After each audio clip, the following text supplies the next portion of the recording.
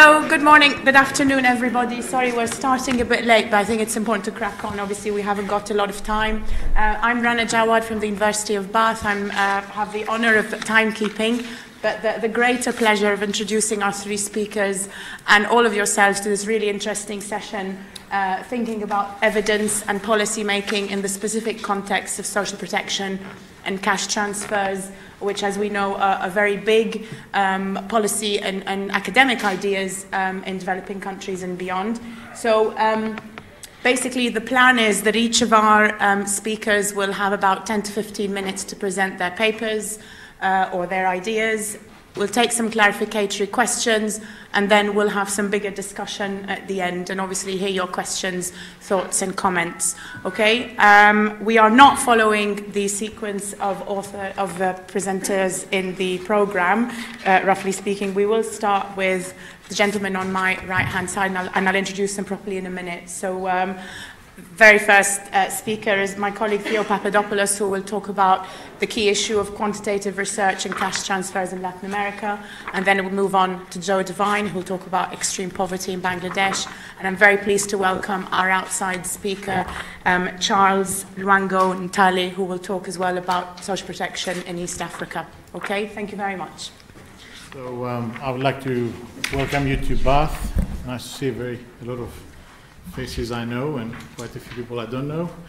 Um, my um, presentation um, uh, is on uh, the some of the recent work I've done with um, a couple of colleagues from uh, Mexico and other Latin America countries on uh, looking at the condi conditional cash transfers in Latin America. And I put up this um, rather pretentious title, but anyway, we'll see if uh, we, I manage to, uh, to meet the expectations. Politics of evidence and evidence as politics in the case of conditional cash transfers in Latin America.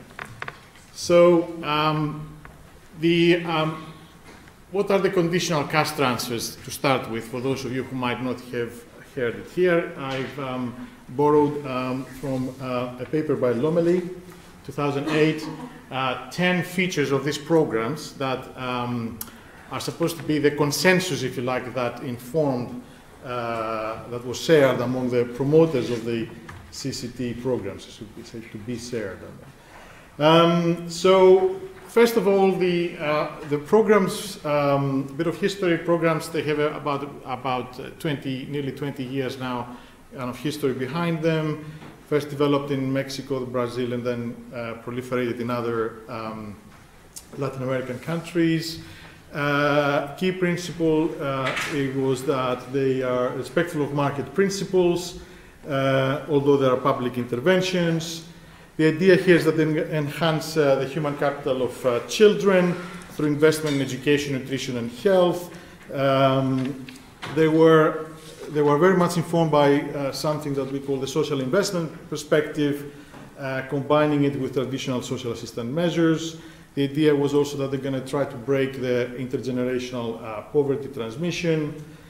The programs are supposed to focus on critical points in the life cycle, where support with schooling, nutrition, and health checkups, uh, as well as income, can have major impacts.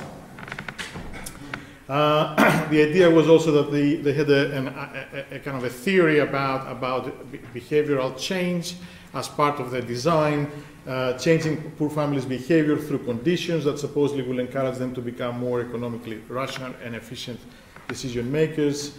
Um, they were seeking to promote education not only by covering the direct schools of uh, cost of schooling, but also by offsetting the opportunity costs generated by having children go to school instead of work. Uh, they are budget sensitive. Uh, they use selective targeting to efficiently allocate uh, support for the neediest of poor households. That's what it was claimed. That was the theory, if you like, behind it. And um, the last two, CCTs transfer resources directly to individuals. They can be seen in that respect as moving away from, let's say, uh, clientelistic kind of uh, arrangements, avoid bureaucratic or political intermediaries. And also, and very importantly, at the heart of the development of these programs was the idea that these programs would be evaluated. So from the very beginning, evaluation was very much at the heart of the design of the programs.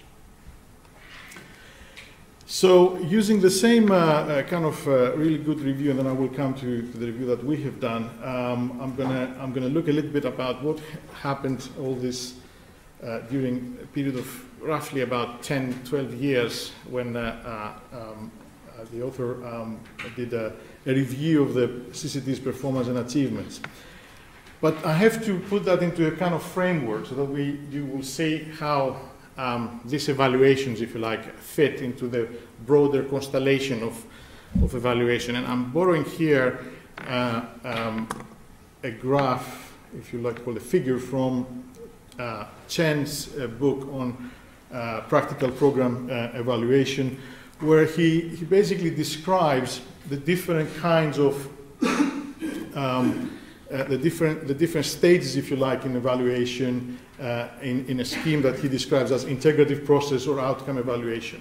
So normally you have the program rationale, uh, program implementation, intervention, intervention directly affecting determinants, and then the idea is that you will have some outcomes, some impact, if you like, to society, economy, uh, more generally. So a lot of these evaluations that I'm going to talk about uh, although they call themselves evaluations, they, they are actually, in a, in a, in a, in a narrow sense, uh, they were very much evaluating the implementation successes or the, the action theory success, if you like, how far they were, you know, the programs were meeting uh, the objectives, if you like. And, and very few, if, if uh, very, very few actually looked at making the links, if you like, between the effects of these programs in the, on the macro level which in a sense will allow us to evaluate the conceptual theory, social investment, how far these programs affect, if you like, they, they will uh, have a, a, a, real impact, a long-term impact, if you like, uh, on, uh, on society and, and, behaviors more generally. So in a sense, they were not capturing the conceptual theory, if I can call that success. So very, very quickly, um, uh, the effects of the programs, um, Again, I'm borrowing here a, a, table from Lomeli. Uh, in terms of school attendance, school enrollment, school leaving, and school learning, uh, the first three, there were generally uh, positive results. Uh, uh, certainly in terms of school enrollment, uh, a lot of data on that, general increase. Um, but school learning, there were uh, they were not that it wasn't very clear that there were positive effects, but certainly the, the attendance of, of school, uh, schools and enrollment has uh, increased. In terms of health outcomes, um, uh, in terms of having regular medical checkups, receiving uh, prenatal or postnatal care, care of growth for children, vaccination, mortality, incidence of illness, etc., they were all, you know, all recording positive results. Uh, there were some cases where there were non-existent effects, but anyway, the, the, general pattern is that. In terms of nutritional outcomes, the picture here was a little bit more mixed. There was a general increase in consumption uh, of, uh, of, of, of, food and spending on food, no real effects on food supplements. The diet seemed to have improved a little bit. Uh, infant weight and height, mixed effects. Uh, some uh, uh, results on anemia that were disappointing, that didn't seem to have any, any serious effect, but that was the picture. Uh, and this is basically a summary of what I've just uh, said. Uh, in terms of poverty, uh, which was one of the biggest claims, one of the, I won't say that's the only one, but certainly one of the claims, the consensus was it looked like the, the CCT program had a greater effect at reducing the intensity of poverty and probably lifting people out of the extreme poverty rather than actually lowering its incidence. And uh, there were also recorded, there were, there were also um, uh, uh, evaluations where we there, was a recording of, uh, they were efficient at reaching targeted uh, populations, and there were some kind of um, also um, records of uh, evaluations that indicated that there was some degree of re-empowerment, especially for women, but also the improvement in security of households, etc. But in terms of the limitations, that's uh, how much? Five minutes. Oh my God, I didn't even started. okay, in terms of limitations, there was some uh, uh, little or no effect at performance in school or the amount of learning. Uh, the most important thing I would like to mention here is this one here the current link between education and earnings may not prevail in the future as levels of education rise. There was some simu simulations indicating that this um, uh, school uh, enrollment might result in the future uh, uh, in improvement future earnings, but that was, that was not uh, seriously evaluated and it wasn't very clear. Um, Lomeli writes that the desire of the, the, the, CCT theorists to show positive results and the urgency with which they promoted these social experiments seem to have played a key role in constructing a very optimistic vision about the CCTs. So, um, what I'd like to give you now is that what we've done, uh, and you know, if, if, nine, eight, nine years after Lomeli did her review, which was actually to, we didn't do an extensive review of other evaluations, but what we've done is that we tried to, uh, uh, to evaluate that part. And what we have found, and because I have very little time, I cannot go into massive detail here, I have some pictures here, is that when you actually put the, the spending on CCTs against, against uh, the extreme poverty reduction, um, what you will see is that uh, the, the picture is very mixed. In some countries that they spend very little on CCTs, they actually uh, achieve quite a substantial poverty reduction, while others that they spend uh, a lot of on CCTs, uh, they don't seem to reduce uh, poverty that much. So there's not a strong correlation between spending or reductions in extreme poverty. I can give you the details of the paper later. I'm running desperately out of time. But what I want to show you, however, is that uh, the, this is the important message here. Several countries in the region devote less resources on CCTs and yet perform better in terms of poverty reduction. So how did that happen? And this happens when you have, and that's the message that we, we, we, we, um, we, we will be able to offer.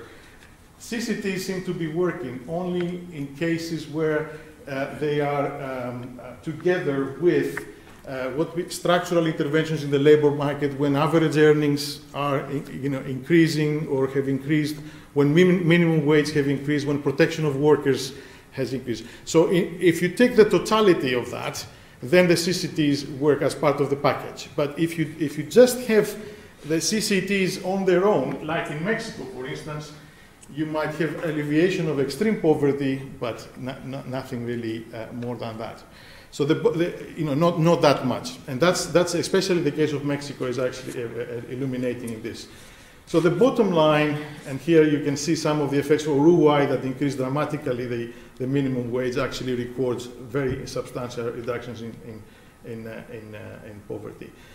So um, what I would like to say, you know, again, yeah, I know I'm running out of time. CCTs are not enough. If the ultimate aim was to reduce po poverty, then they seem to work better when they are accompanied uh, as part of a wider package of measures and if we take that argument, if you like, uh, uh, further, what does this say about the politics of evidence and the evidence of politics?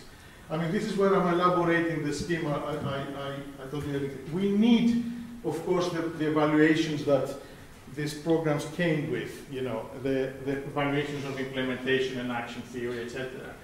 But we also need to do these other kinds of evaluation where we take the big picture into consideration. And that's a political decision.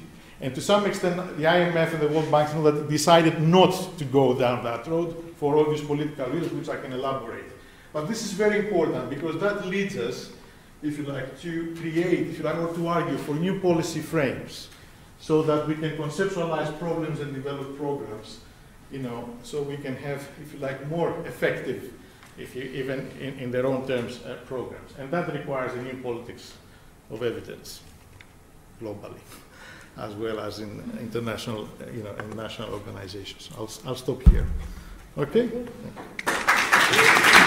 Um, so, for those of you who know me, then as ever, I'm taking a lot of credit here for things that I didn't do. Um, this is this is a reflection on work that I've been involved in since 2008, um, but there's been others in the room, Mathilde and Jeff have been involved in it as well.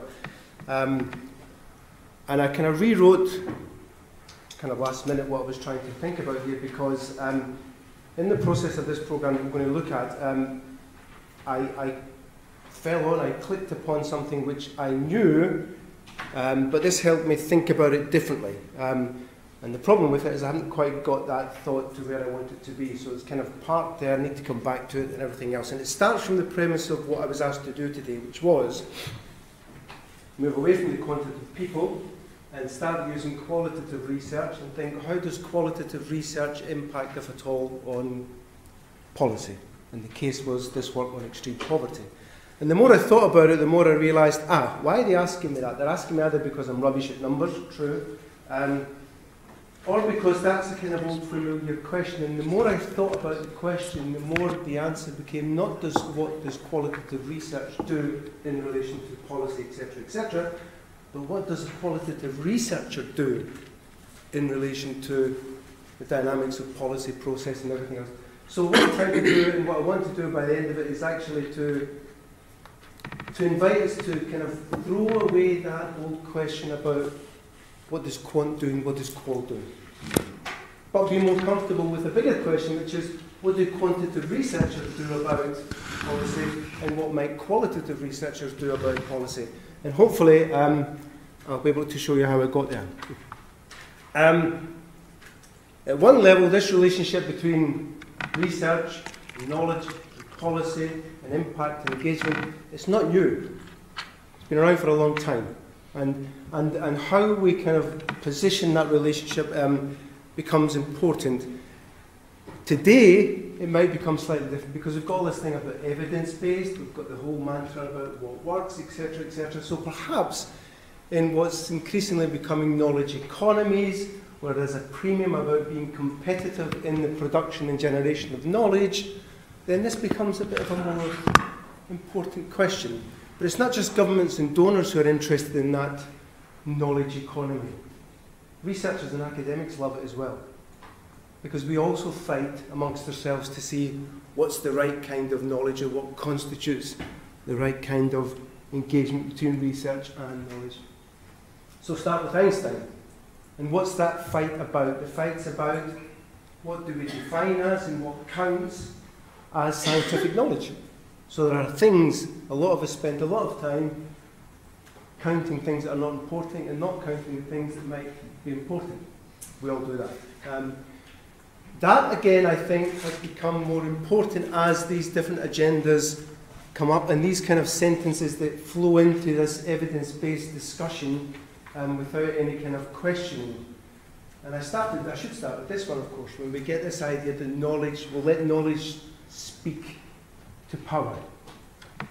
And we almost kind of take knowledge as something which is out there, and all we have to do is to kind of mould it a bit into some sort of policy structure or shape. And what we're doing in that process, it seems to me, is that we're almost conflating. We're making a very direct relationship by what we call evidence and then what we call policy. And I suppose the first step of what I want to try and invite us to think about is not to be not to be tempted by that direct association. I don't think there is a direct association between evidence and policy. If there is an association between evidence and policy, it's always and only and can only be mediated through something. So it's an indirect and it's made direct. And so I suppose what we're going to um, talk about in the work that we've been doing is that process of making an association between evidence and policy, as opposed to assuming the evidence just sits out there unproblematically and that it's got a direct relation to policy. Um, so what's the starting point? If knowledge and evidence is relevant to policy, and I think that it is, it's only relevant to the extent that it either supports or undermines a particular argument, a particular position, or a proposition. And what does that then ask us to look at not so much the direct finding of the evidence that's out there, but to start looking on that interpretative glance, that kind of argumentative context that actually breathes life into knowledge, turning it into evidence, turning it potentially into something which may or may not um, have an impact on policy. So here's the, the programme, as it were, um, summarised in one slide. Um, it's been fair to say, I think, and I'm looking at other people, it's been a long eight years. Um, This started off with a programme which was a huge investment, 80 odd million quid, and the whole idea at the beginning was devise a programme that specifically targets what they wanted to call the extreme poor. And the idea was to make a distinction between non-extreme poor, let's call them moderate poor, and the extreme poor. And the rationale behind it was um, Bangladesh had had a huge amount of success, mostly through NGOs, but not exclusively, in targeting, let's call it the moderate poor. But there was a significant section of society that hadn't taken part, hadn't been involved in those programs. And hence, around the mid 2000s, there was one or two initiatives set out, and the whole idea was to try and do something about extreme poverty. This particular program then took on the modality of a challenge fund. In other words, it set out calls, and NGOs responded to the calls with different ways of how they were going to deal with extreme poverty. This was blind peer reviewed, and then um, disbursements were made, and the programs went on. The overall aim was to get a million people, help them out of extreme poverty. So you can already see there's a kind of threshold game going on here. What does it mean? We hadn't quite thought about it. Does it mean moving out of extreme poverty into being poor? Does it mean moving out of extreme poverty into being super rich? Whatever. And there was kind of four core components to it, which kind of blended eventually into two, I think. One was implementation. On the one hand, big scale NGOs so that we can get the numbers in to get to one million, but also some sort of in innovation, smaller NGOs trying things probably not as successful as, as at least some of us would have thought. And then a lesson in learning and advocacy, which quite rightly over time came much closer together. So the programme went on, we were involved in it from the beginning, and our job basically was to look at the lesson learning and advocacy stuff, if you want. Put the clock forward to 2016, and you've got this seventh five-year plan. So the government of Bangladesh, like other governments, um, in South Asia in particular, do these huge five-year plans. And these are important, not just symbolically, because they basically set the tracks for government spending and priorities for the next until 2020. So if you're in, it's good. And if you're not in, it's always going to be a struggle. And part of what we were trying to do was to try and get government to take control of this project to kind of take on the notion of extreme poverty because at the beginning they too resisted the idea of extreme poverty and every time you mentioned extreme they would quite rightly say is all poverty not extreme anyway? So there's a bit of distinction there. We think this is this is this is what we think we've got to. In section 2.9.3 for the first time ever Bangladesh puts a part of its seven year plan entitled a greater focus on extreme poor never before done and of course, what we're going to say is that this is all part of our great work here, which to some extent, um, of course, it, it, it was. So a shift, a real shift in policy terms, and a significant one, because this does make a commitment. Then what the government of Bangladesh does with that commitment, we'll have to see over the next few years. But it's taken on board an argument. We won the argument if we was. And there's been a recent evaluation which kind of curiously said, this is actually the best legacy of the whole programme. This was achieved, but it was achieved yesterday. This is the real legacy, and of course, we're not sure where it will go. Which was a bit of a turnaround for us because for years we were fighting for something like this and kept on getting dragged back into to this. And the way that we had presented it almost from day one was the million people is to some extent the low hanging fruit. If you've got 80 odd million quid, you should be able to get a million people out of poverty. It's not that difficult. Shouldn't be that difficult. Whether they stay out of poverty, second question. So, what was this being done in a particular context? What we were trying to do through the research was to push for something that wasn't low hanging, a bigger agenda.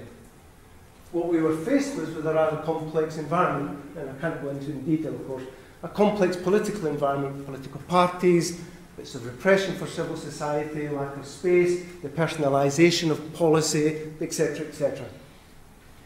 But also a policy world that was very open and very keen and very well trained in the technical side of policy, less so in the, let's call it qualitative side. So mostly trained in economics and, and, and therefore open to policy influence as long as it came through a particular medium, the technical and the quantitative. But also within the project itself, attention, because we were all looking for different ways of evaluating and judging how would this project be a success. For most of the eight years, the notion of graduation was the one that was winning. And it was this idea of get someone over a threshold, project success. Some people pulling their teeth and being dragged into saying the graduation agenda isn't really the big prize. It's part of the, the low-hanging fruit, if you want. So, how did I come around this? Well, um, um, first of all, I need to James Copestake. He was the one that threw this at me at certain point when I was talking to him about it. Um, and James is an economist, but, but a good economist.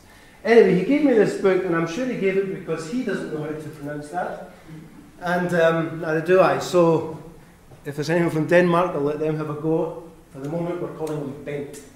Um, and he puts out three different types of knowledge. And this is where the turn in me started. I don't know where this is going on. We've got the epistemic knowledge.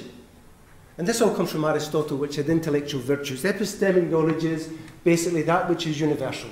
Knowledge that we can get and can apply in most places. And what's the question that it's answering? What is objectively true? Okay? The second is the technique. And this is knowledge which is gen- generated a lot through pragmatic rationality, doing things and getting things done and finding solutions. What's the question that it's responding to? What works in practice? And the third is phronesis. And this is the nice one. Knowledge that reflects and is engaged with values and interests, quite explicitly. And what are they asking? Where are we going and why? Why are we doing what we're doing? Okay?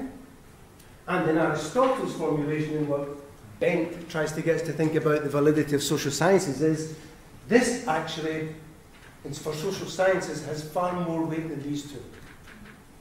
Because this is the one which kind of keeps those two in order. And I suppose part of the discussion that I was having when James threw it at me was my frustration because we were all rushing to the, the top one, which is the one which reflects that part of policy which is looking for rational, ordered, structured responses to cost benefit, evidence based, etc. etc. So, they're beginning to think about how do you get the values into the bigger question about where are we going with this. And I suppose what we were trying to do then through the project was to build up in one minute um, a set of propositions that played with the one million graduation um, um, epistemic need to find out if the project is a success, but at the same time then trying to challenge various people, project through to citizens, through to politicians, about the bigger picture. What kind of society do we want, and what kind of society then will make the one million, if it's successful, sustainable? So part of our argument had been if we can get to what in political science they're calling a resettlement of the political contract, in other words, uh, a change in the way that welfare is distributed, then at one level the problem of extreme poverty would be A, owned more by the Bangladeshis, and B, long term there's a solution in sight. I'll quickly go through this. These are then what I felt in doing that kind of work we were playing with. One was building a narrative. And why we built narratives? We built narratives in order to kind of legitimize the big picture. And those narratives changed. They weren't precise. They weren't epistemic in that sense. They were imprecise, and sometimes they were, they were bits of storytelling. But it was important to continually bring up narratives in order to construct legitimacy into what we were trying to do. Second was networks. So we were doing work, but in actual fact, the ones who were at the spearhead, the ones who were fronting much of this, were, let's call them, professionals with a reformist agenda. People who knew how the political system worked but also knew what the policy mood was and what could be engaged with and what couldn't be. These were the ones that had to be brought in to the debate because these are the ones that when presenting the debate to the political system, if you want. Dialogue, which was ongoing, and the idea there was, of course, we were never going to win through evidence alone. The evidence was there. We were never going to win just by what works. We had that evidence as well. We would only win if someone was persuaded.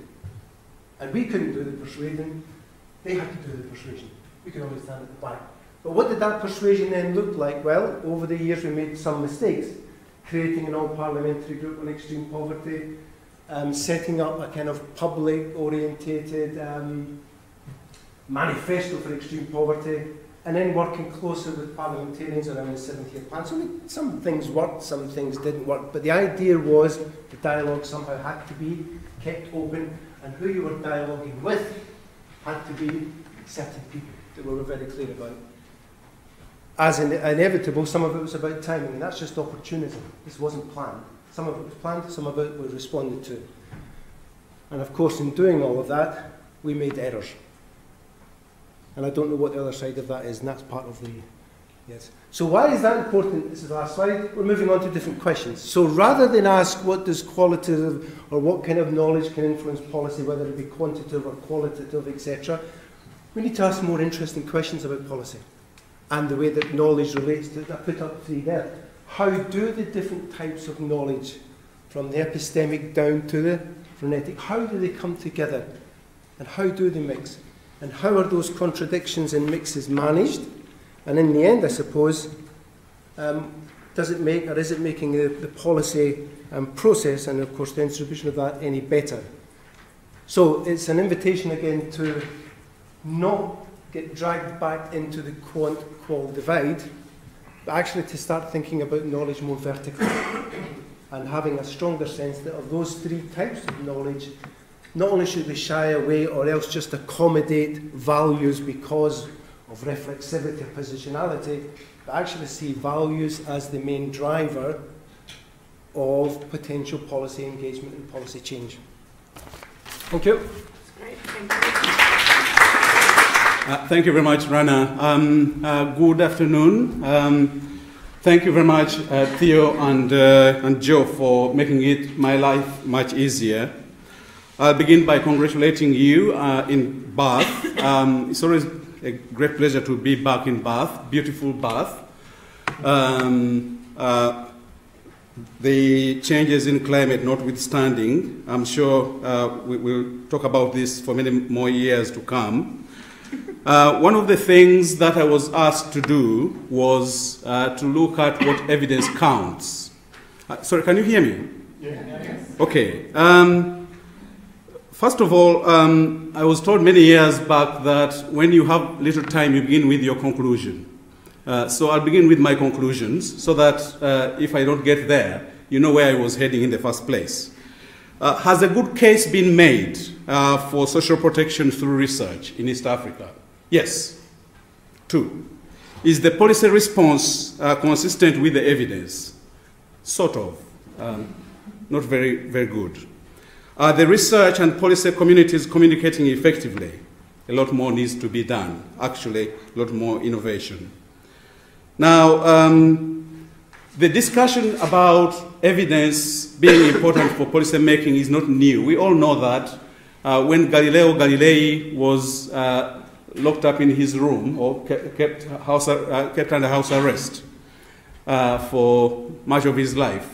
Uh, he was uh, trying to say, well, there is this evidence, and um, so you should be uh, following it. Well, it was locked away. Why was that the case? Um, I would like to pose uh, a couple of other questions in addition to the bigger question. When does evidence actually count? Under what conditions does it count? um, and uh, make the most Im uh, impact? What role uh, does or has evidence played or does it play in social protection policy making in East Africa? And what are the main barriers to uptake?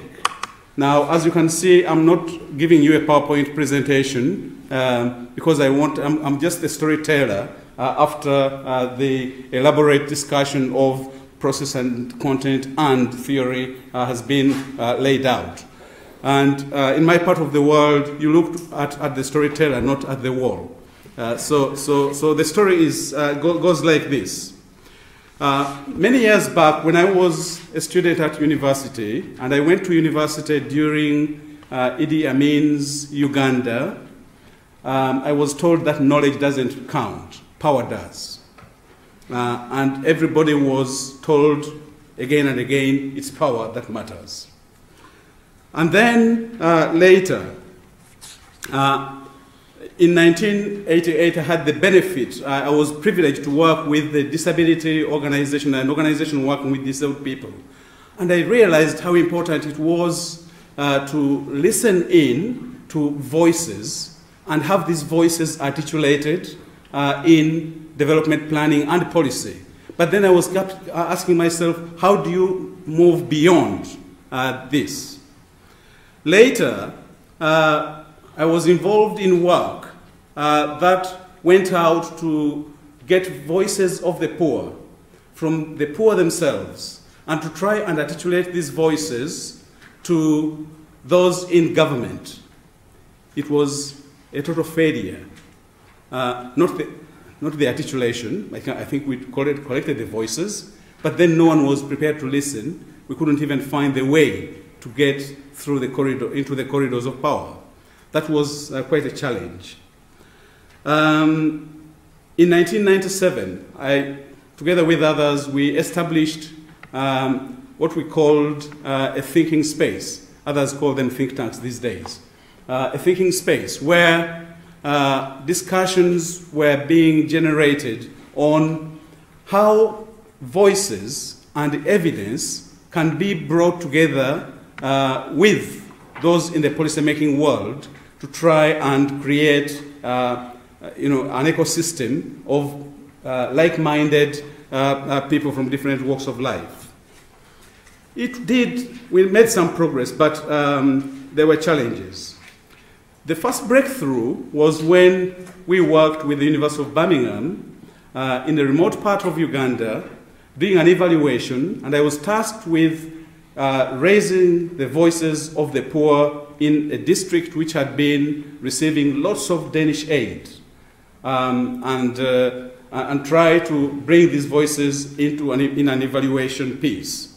Now, um, someone said, this is very, very good. I said, well, um, I think this, uh, we've been saying this for a long, long time. Uh, so why is it that it's only the first time that we're recognizing this? The reason was uh, previously, it was I and a small group of people in Uganda. This time, the University of Birmingham was involved. So it must be important. Um, later, uh, we worked, and uh, I can see Tony here, um, with, with, the Chronic Poverty Research Center uh, and the universities across the north and other organizations across the world, uh, all saying there is a theory behind understanding policy, there's the theory behind understanding poverty, there's a theory behind uh, processes that link poverty understanding to policy responses, etc., etc. And then the, rest of the world started listening. We had been saying this for more than 10 years uh, previously. Um, when the World Bank in 2000 uh, did their Voices of the Poor, 1999 uh, to 2000, Actually, we had been doing that for seven years previously, and no one had been uh, listening. But of course, that's the World Bank. It's not small people sitting in a, uh, a, a small unknown country. Uh, in 2006, for the first time, African leaders gathered uh, in Zambia, Livingstone, and deliberated on the need to respond to the poverty question that was uh, becoming bigger and bigger, uh, had been recognized before, but this time they wanted to do something um, and uh, came up with the Livingstone call for action on social protection. The first time we hear uh, the, the, term uh, acknowledged. Uh, interestingly, unfortunately, I didn't go to the conference. However, the reason was because there was, there was only one ticket and I preferred that the person who goes to the conference is the government person, the senior person in government. And I actually wrote uh, all the background papers and made this one available to, to, to him. Now, what does it mean? Uh, what, what, does it mean uh, for, uh, for, for, us to reflect on this, uh, these kinds of uh, uh, questions? Um, when uh, and, and, and what, what evidence, uh, what is the evidence uh, uh that we have been receiving uh, previously? First of all, there is the very well rehearsed um, you know, retinue of, of points that have been made about evidence in the social protection arena. in Uganda and Kenya in spe in specifically, but elsewhere in Africa as well. We've been hearing that it's not affordable, We've been hearing that there isn't institutional capacity to implement. we've been hearing that it's not sustainable. We've been hearing that there isn't good ac- acceptability and that sometimes the targeting mechanisms are not very good. But social protection has always been there. Traditional mechanisms have always been there. So one would have expected that since it was already there, um, introduction of the approach would have been uh, seamless, it would have been very easy. But it wasn't. Um, instead, uh, what we, have been seeing is a narrow agenda, uh, not, sometimes uh, dominated by conditional and unconditional cash transfers, uh, not the broader understanding of what social protection should entail. And that uh, created um, uh, one of the first challenges. And the underlying reasons for this failure for me are whereas in the past, Society relied uh, on family and kinship relationships to support their social protection, and no distinction was there between home and work. Uh, now we have workplace, we also have uh, workers and non workers, and therefore there is an issue uh, about what kind of social protection you, you, can, uh, you, you can do. So, what role has research played in these circumstances? We know from the chronic poverty research that uh, at least 25 million East Africans out of a population of about 44 are in extreme and chronic poverty. We know that already. And that is using a very generous description of uh, poverty. Uh, if we became more rigorous, we would probably be talking about uh, bigger numbers. We also know that uh, countries have been growing in terms of uh, uh, economic growth. So it's not, we are not short of economic growth, but we are short of poverty eradication. Uh, we know that uh, a number of studies have already been, uh, have been taking place. Now, what has not happened, however, is the coming together of the research world and the political world and the entrepreneurs, because you need those who make decisions, those who research, and those who, who are entrepreneurs bringing the two together, uh, who are making sure that uh, things uh, that you're talking about uh, rhyme well or somehow, somehow uh, take advantage uh, of th- things that can be done. Um, and to make things worse, most policymakers have reduced the agenda to just, uh, the social protection agenda, to just safety nets. Um, and that plays into the World Bank, IMF, uh, uh, you, you, know, uh, ideology, uh, and, and, so on and so forth. And uh, instead of then dealing with the mainstream issue of addressing long-term, extreme, and chronic poverty, uh, it is about trying to, to see how do we work with those who might be falling uh, into poverty. Uh, but actually, there are lots and lots that are falling into that. We're not talking about a residual situation, we're talking about masses that are falling uh, into, uh, in, into, into uh, poverty. Now, I know that time is not on, on, on our side. I, I want to, to make a few pr- propositions or make a few observations.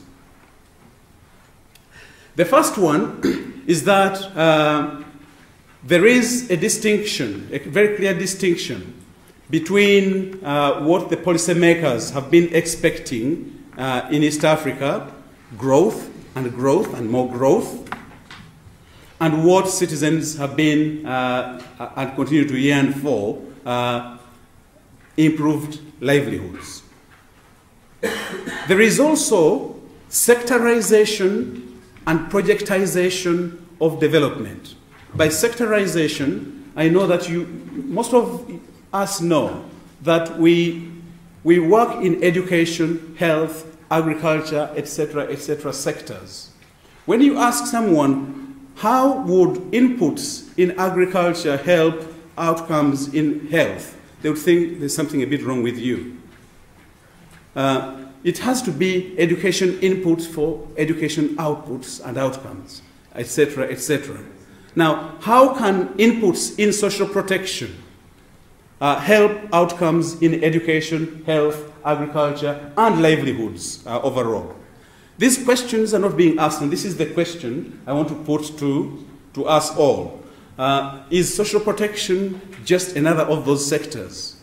And even when we go to pilot and try out things, do we pilot uh, in this sectorized and projectized uh, way to the detriment of uh, overarching development? What is the overarching question that development question we are posing and trying to answer and working with others on uh, so that we can find uh, a solution? Um, I know these are very big questions. Uh, I would like us to, uh, to think about them, and um, uh, I'm going to be available for the next two days. And uh, I would like to, to, to, to say that um, as we think about this, uh, let's not only think about uh, evidence just as a way of doing the next research piece, but evidence in a much more holistic manner. So, which is beyond the theoretical and analytical um, uh, approaches to answering a set of questions or one question or a set of questions, but rather uh, what in totality is out there, not just in academia, but also uh, amongst uh, societies out there, in communities, ways of doing things, the politics of doing decision making. When Idi Amin said knowledge was not important, I, I, I frowned very seriously. Um, but you can forgive Idi Amin because he was Idi Amin. But when that happens in 2016, uh, and people still come back and uh, infer to you that uh, it's not, it's not the evidence, it's not the analysis, it's not the discussion, it is the power, it is the attitudes. Then I have a question mark. I would like to think that Idi Amin was right. But if that is what it draws one to, to concluding, then I think there is an issue that we need to discuss. Thank you very much.